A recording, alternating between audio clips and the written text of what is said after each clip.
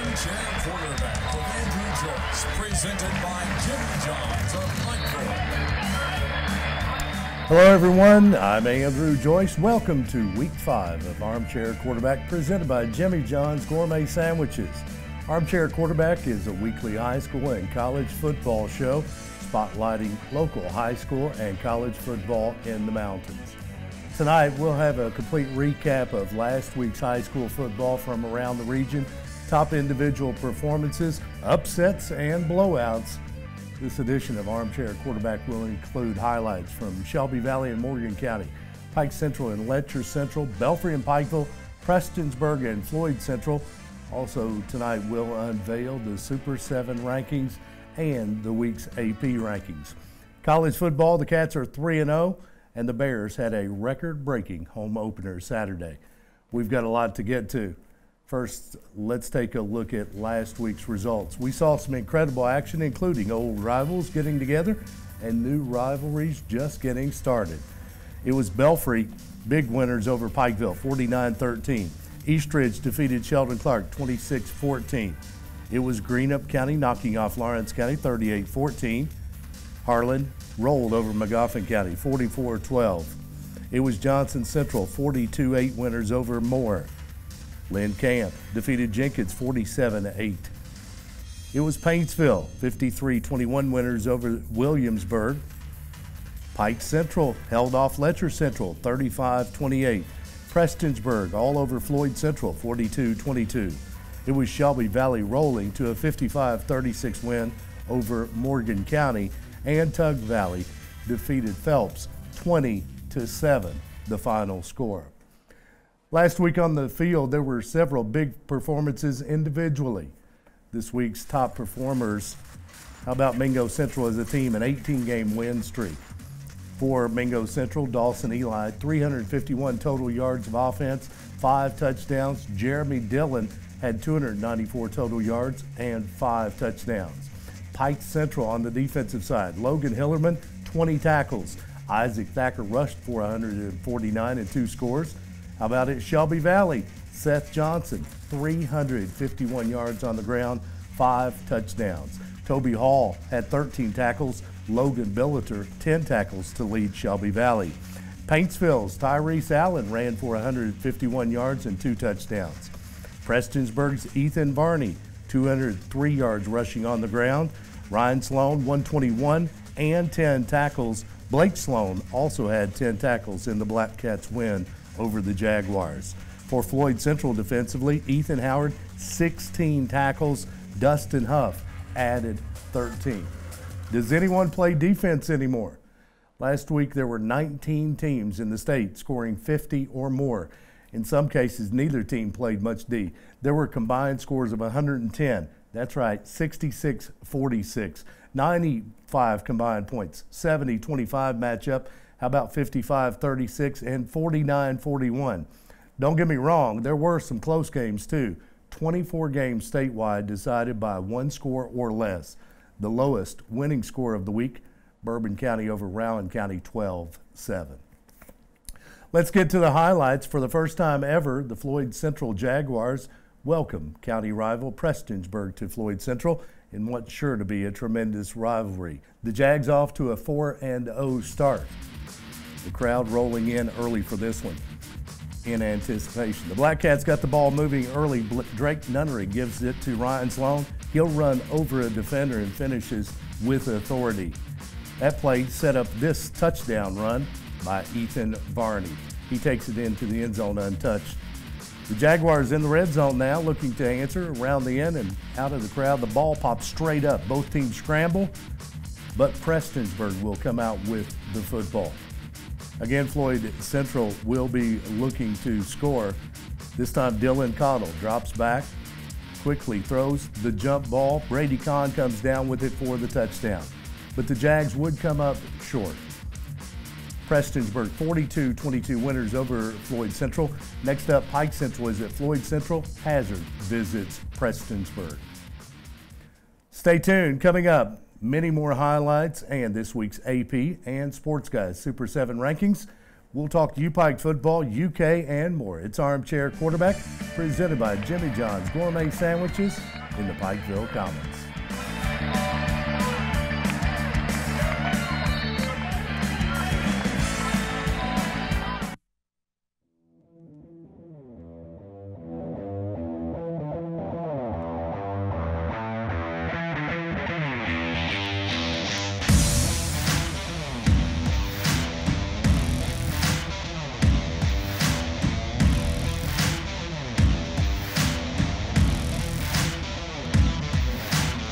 Jimmy, and this has been my definition of fresh since 1983. The good folks at Howard Family Pharmacy grew up right here in eastern Kentucky. They know this town just as well as they know their customers.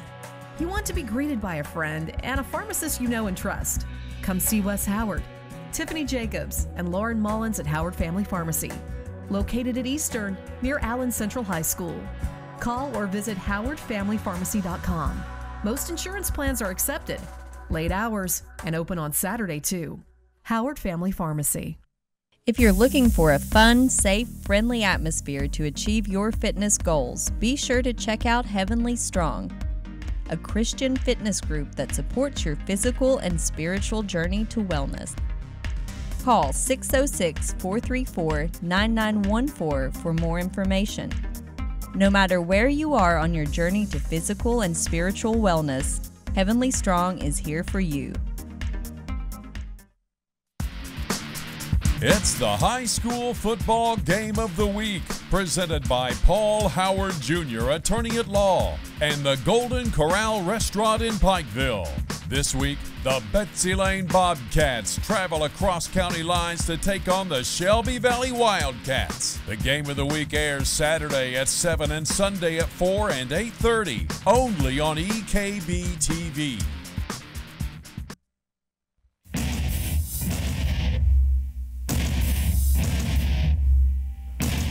Welcome back. More highlights from last weekend's high school football. Friday night, the 57th meeting between Pikeville and Belfry on the gridiron. This one was a blowout at the get-go with the Pirates scoring early and often.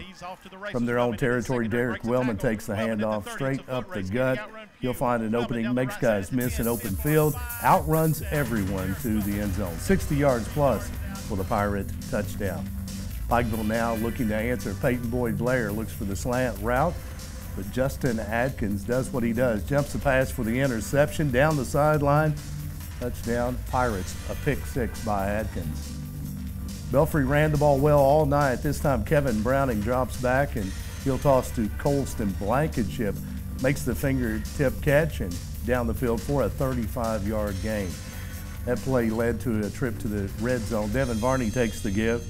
He'll cut upfield and into the end zone. The Pirates go on to win big at KM Stadium. 49-13, Belfry wins it. Next up, Pikeville is open. Sheldon Clark will be at Belfry. And the Shelby Valley Wildcats hosted Morgan County Friday night at Tico Field. It would be a huge night for the Cats with nearly 500 yards of total offense. Valley had a huge night on the ground. Seth Johnson played a huge role. He'll take the handoff right up the middle into the end zone, six points for Valley, and that was just getting started. Again, Johnson takes the handoff. He'll spin, make a few defenders miss, finds open field, and off to the races, Seth Johnson, six more.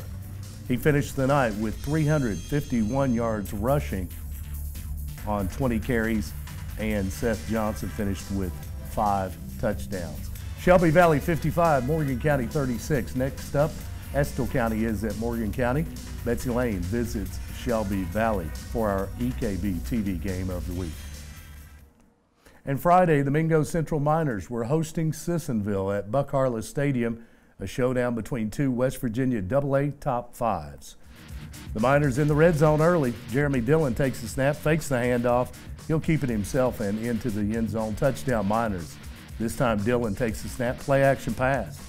He finds Connor Thacker wide open. He's brought down at the 10. That play set up this touchdown run. Dillon fakes the give, does it himself, got a block on the corner, He punches it in for six. Again, Dillon takes the snap. He had a huge night. Play action. He'll find Josh Reed open over the middle. It's a foot race to the end zone. One man to beat. He outruns everyone. Another Miners touchdown. Jeremy Dillon had a big, big night. Another play action pass. This time he finds Dawson Eli with the screen pass. He'll do the rest of the work. Breaking tackles.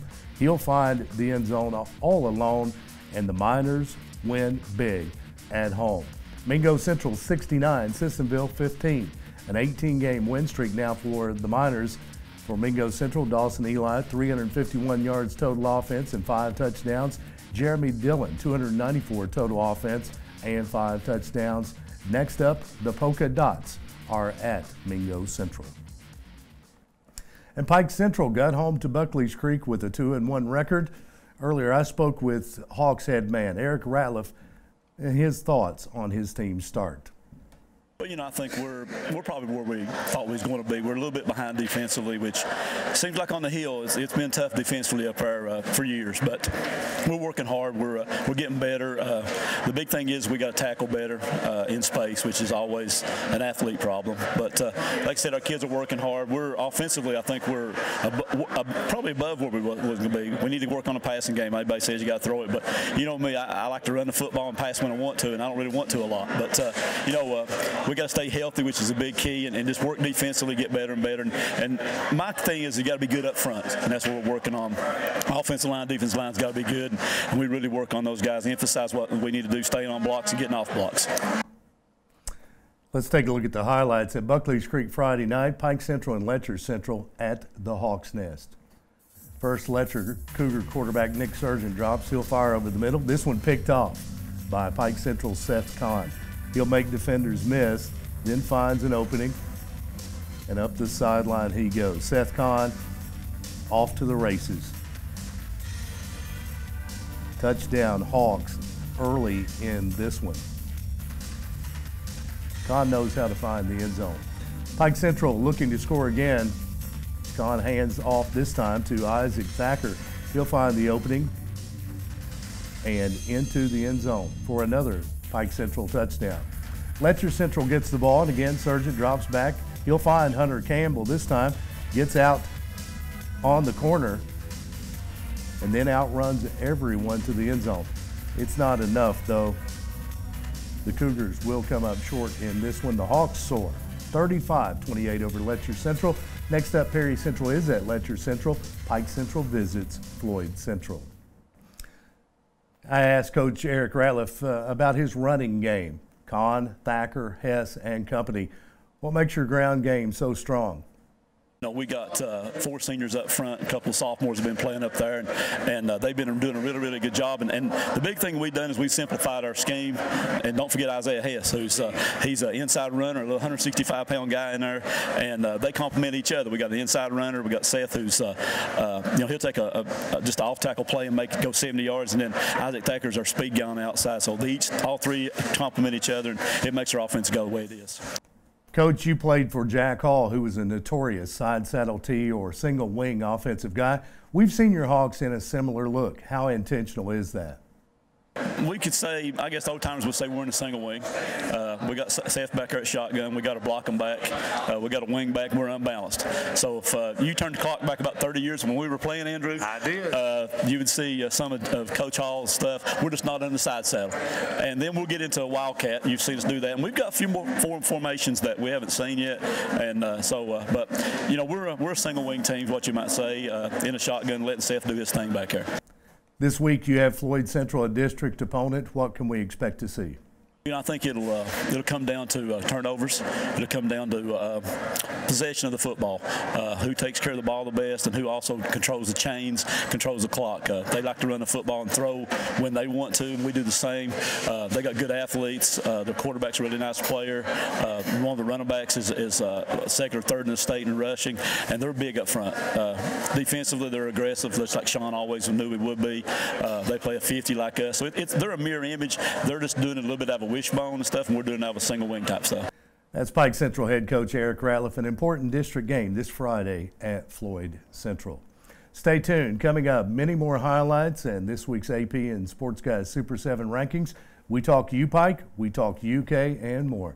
Armchair Quarterback presented by Jimmy John's Gourmet Sandwiches, Pikeville Commons.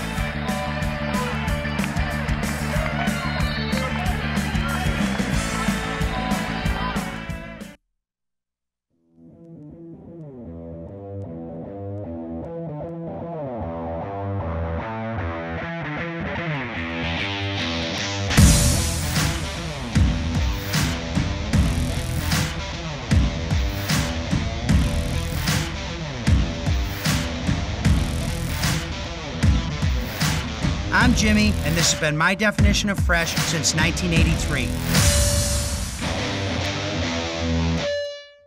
If you're looking for a fun, safe, friendly atmosphere to achieve your fitness goals, be sure to check out Heavenly Strong, a Christian fitness group that supports your physical and spiritual journey to wellness.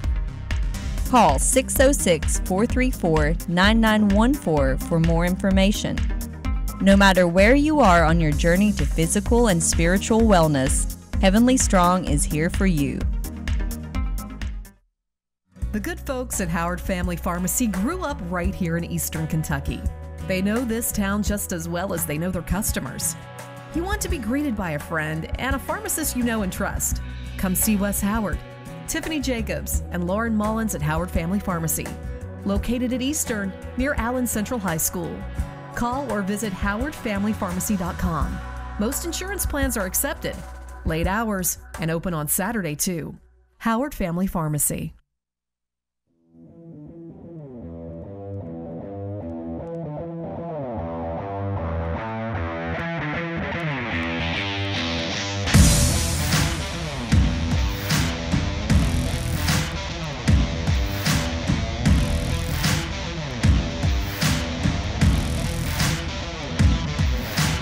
I'm Jimmy, and this has been my definition of fresh since 1983.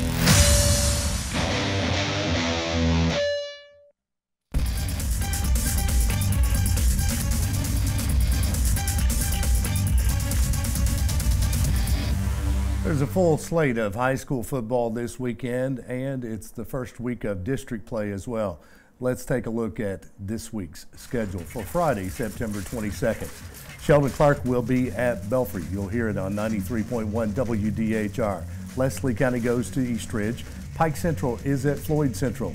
Coverage on The Rock, 103.1 FM. Harlan visits Jenkins. Boyd County is at Johnson Central. Breathitt County visits Knott Central. Paintsville is at Lawrence County. Perry Central goes to Letcher Central. Magoffin County at Powell County. Hazard at Prestonsburg. And Betsy Lane will be at Shelby Valley. Coverage on ESPN East Kentucky, and it's the EKB TV game of the week. The Associated Press released its weekly Kentucky high school football rankings Monday. 12 coverage area teams received mention and three number ones. In Kentucky Class Single A, it's Paintsville at number one, followed by Beechwood. Then Country Day, Raceland fourth and Hazard fifth. Pikeville still in the top 10 at number seven, and the Phelps Hornets receive votes. In Double A, it's Mayfield, Danville, DeSales, Lexington Christian, and Christian Academy of Louisville. Receiving votes outside the top 10, East Ridge and Prestonsburg. In Triple A, it's the Belfry Pirates, number one. Then Corbin, Boyle County, Louisville Central fourth, and E-Town fifth. Receiving votes, Floyd Central, Knott Central, and Pike Central. Kentucky Class 4A has Johnson Central in the top spot, then Rockcastle County, Wayne County, Collins, and Shelby County. In Kentucky Class 5A, it's Covcath, Bowling Green, and Christian County. From the mountains, Perry Central at number six. In 6A, it's Trinity, then St. X, PRP Male, and Simon Kenton. And the sports guys of EKB released their Super 7 high school football rankings for the week. The Super 7 includes the top seven teams in our coverage area, regardless of state or class. The Super 7 rankings for September 18th, receiving votes Phelps and Prestonsburg at number seven, Pike Central, Pikeville's Panthers at six, Paintsville's Tigers at number five, the Hazard Bulldogs fourth, Mingo Central's Miners at number three, the Belfry Pirates second, and unanimous number one, Johnson Central's Golden Eagles. Stay tuned. Coming up, more highlights. This week's college football. We'll talk U Pike. We'll talk UK. It's Armchair Quarterback, presented by Jimmy John's Gourmet Sandwiches, Pikeville Commons.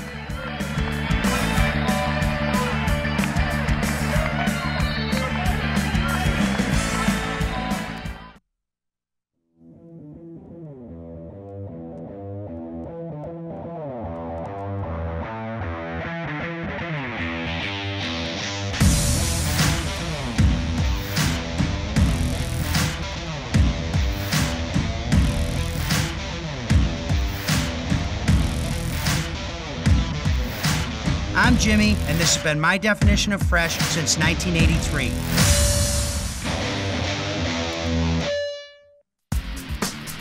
It's the high school football game of the week, presented by Paul Howard Jr., attorney at law, and the Golden Corral Restaurant in Pikeville.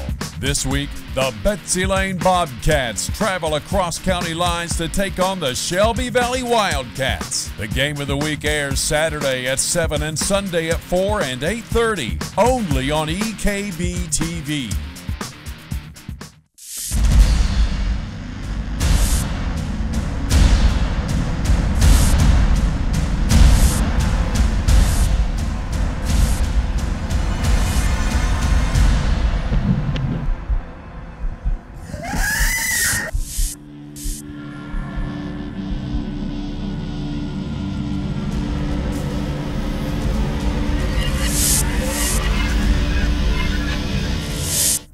Eastern Kentucky, beautiful, green, peaceful, friendly.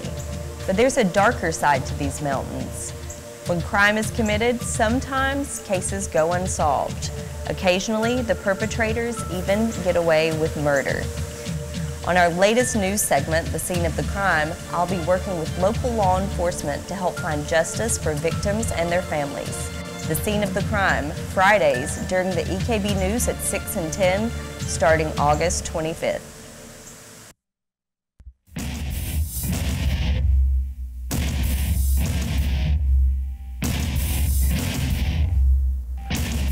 University of Pikeville Bears faced Kentucky Christian in their home opener Saturday at the Hambley Complex.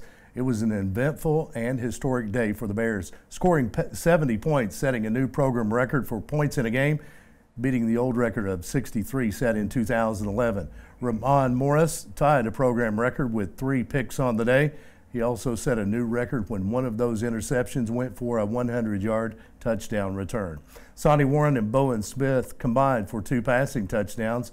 Willie McLeod, Zandre Willis, and Tellis Kennedy all scored once on the ground. Record breaking day at Hillard Howard Field. UPike 70, Kentucky Christian 28. UPike's Ramon Morris was named National Defensive Player of the Week for his three interceptions, two return for touchdowns. Next up, Ave Maria University of Florida is at UPike Friday night, a 7 p.m. kickoff. I spoke to Coach Al Holland with his thoughts on the Bears' first win of the season. I feel like it's a blessing for us to get that off week, uh, maybe a couple weeks early, uh, to get some guys healed up, to, to, get back to working on some fundamentals. Uh, but it was uh, great getting getting back out there and practicing, and really proud of our team and proud of our coaching staff, putting our guys in position to give them an opportunity to be successful out there on the field. And uh, you know, the, and the guys are buying in, and, and, that's what it's all about. You know, we got a great group of young men. I love them to death, and uh, they're great to coach and fun to coach every single day. And that makes that's what makes my job easy, coming to work every day uh, you know, win or lose, they're, they're putting it all out there and giving it all. And when you work hard, great things will happen. The Bears kick off Friday night. That's right, Friday at 7 at the Hambley Complex. Ave Maria 1 and 1, Upike 1 and 2. And the Kentucky Wildcats on the road facing South Carolina last Saturday night in Columbia. After the Gamecocks jumped in front early, Kentucky looking to answer. Benny Snell from the Wildcat formation He'll punch it in for six. Touchdown, Kentucky. We'll see the Wildcat formation again. Benny Snell takes the high snap straight up the gut for six more. We've seen the offense produce. Now the defense for looking for a big fourth and goal stop, and there it is. Derrick Baity wraps him up and forces the turnover on downs. Last chance for the Gamecocks. They're driving, looking for six. The throw. Who else? Derrick Baity comes up with the interception, gets the Wildcats the ball back, and secures the Kentucky win 23 13 over South Carolina. Next up, the Florida Gators at Kroger Field in Lexington Saturday night at 7:30.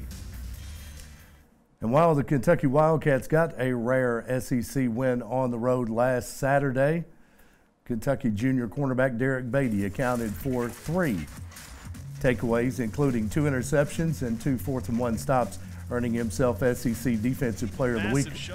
UK senior kicker Austin McGinnis kicked three field goals. He was named SEC Special Teams Player of the Week. I was pleased with our team's performance this past week. I thought we played exceptionally hard. Uh, I thought they showed great poise, uh, great toughness, and we really executed very well in critical situations in a, in a tough, hostile environment. I really believe that was the difference in the game. Uh, short yardage, goal line, third downs. Uh, our team did some good things. So uh, we're excited about that win, and uh, we're we're excited to get back to work. It's very short-lived, and we'll have our hands full this week, and we're excited to be back home and, and playing a great Florida team. So we'll be excited and ready to go. With the Cats hosting Florida at Kroger Field in Lexington Saturday night, UK officials have announced that game is sold out. Only a few single tickets available. UK will try to snap a 30 year losing streak to the Gators. Florida is a two and a half point favorite. Well, another week has come and gone. Now we prepare for another huge weekend of high school and college football. There are some great matchups this week. Will the undefeated remain unbeaten? Will the winless find their first win? As teams begin district play. We'll find out all those answers. It's the it's the U Pike Bears Friday night kickoff. We look forward to a great weekend of football and bringing you the recap next week on Armchair Quarterback. It's been presented by Jimmy John's Gourmet Sandwiches in the Pikeville Commons. Thanks for tuning in.